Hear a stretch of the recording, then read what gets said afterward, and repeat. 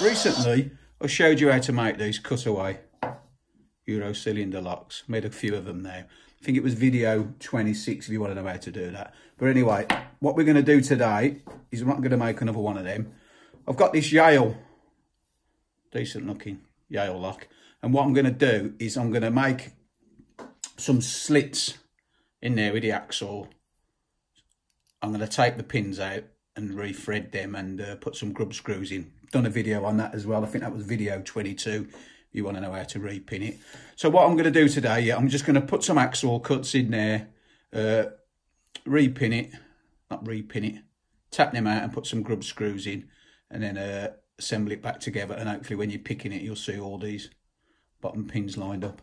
I've obviously got my new flash pinning tray I made in my last video out of a DVD case so that will come in handy today. Uh, so I'm going to go and do that now. Uh, before I go and strip this, I'm not going to keep this on the video stripping It's just too long-winded and we've all seen them stripped apart before. Just want to show you what I made as well yesterday. It was another little pinning tray. Dead easy to do. I won't bother even putting a video on how to do that. Bit of wood, bit of perspex. To cut your notches out, use the same principle as I did on that one yesterday. Then under the perspex, you can just glue some. I've just put the Brummie lock picker on there and I've just numbered uh, the little cuts out. So yeah, if you want to make another uh, pinning tray, that's another way of doing it. So back onto this.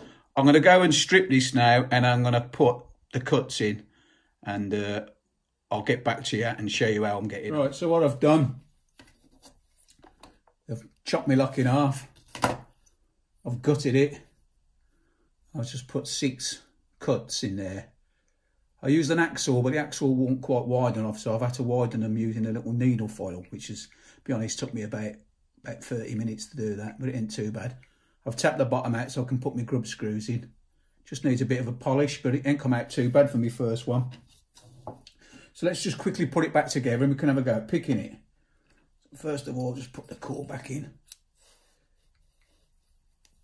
I'm only showing off with my pinning tray or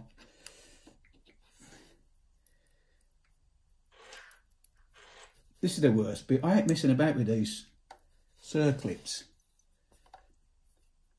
Hmm.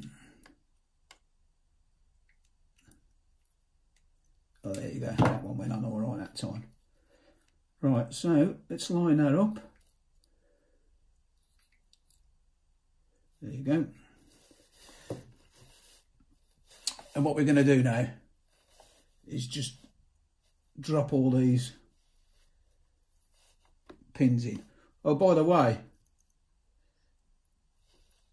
I didn't even realise it when I've been picking this lock in the past, but there was five spools in that. There's only one standard pin in it. And to be honest, it didn't give me much that much difficulty. So I didn't realise there was that many spools in it. Put these back in.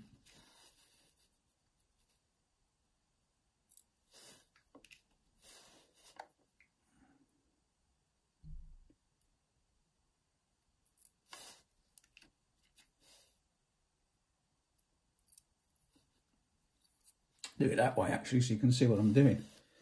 Just stick the springs in.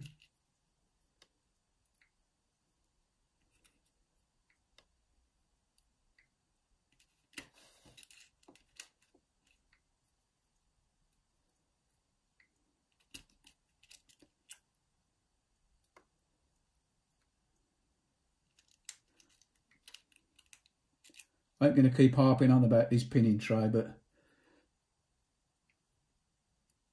it does make me chuckle to myself. Right, grub screws.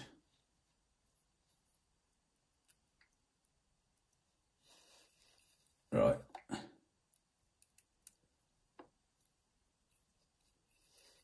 Just put them in. Dead easy to do this. All you need is a file and an hacksaw and obviously if you want to put the grub screws in to make it repinnable, you need a, a 4 mil tap. But you ain't got to do that. You don't have to do that at all. I just do it because I like messing about. Depends what you want to do though. I mean, if you're only learning, I probably wouldn't have all them spools in to start with. I'd probably just put one spool in and have the rest standard.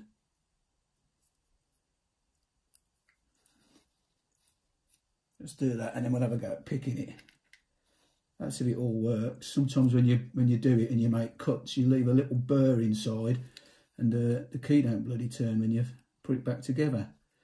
So we'll soon find out.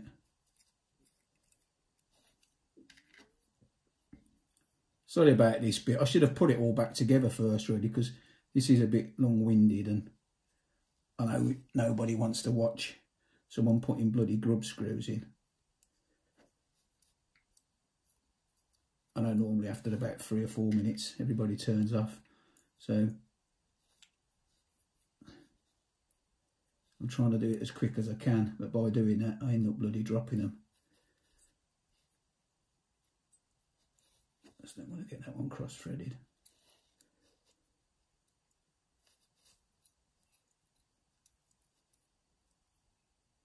There we go. That's my little practice lock all back together. Does it turn? Yeah, it does. Does the key come out? Yeah, it does. It's a good start. So what I'm going to have a do now is I'm going to have a go at picking it. But so you can see what I'm doing, I'm going to try to pick it close up in my hand. So let's put a tension tool in the bottom. Let's put my finger on there.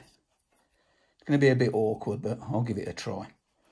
So, can you see them pins? Yeah. So the first pin, let's go straight in at that. Hang on a minute.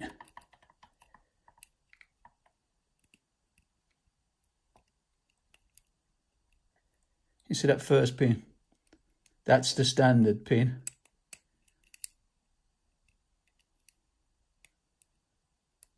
Something's not right there. I know what it is. It's that pin at the back there.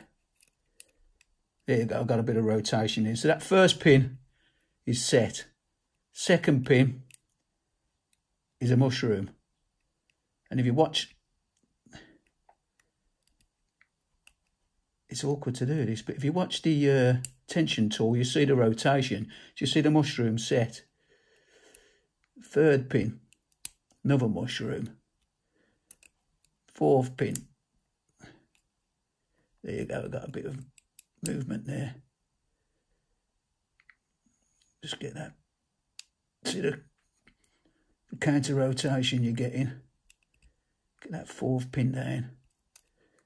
Can you see them? Sorry, my fingers are in the way, ain't they?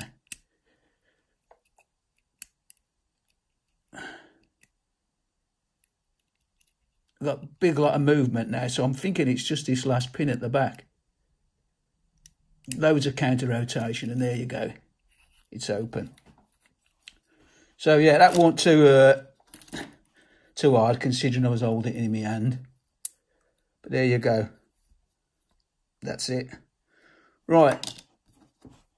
Let's just put that back in. I ain't going to bother picking it again, but that's it picked. So anyway, as always, thanks for watching. If you want to make yourself one of them, dead easy to do. Ain't come out too bad really, has it? Uh, yeah, as always, thanks for watching. If you like what you see, please subscribe. See you next time. Try it a bit.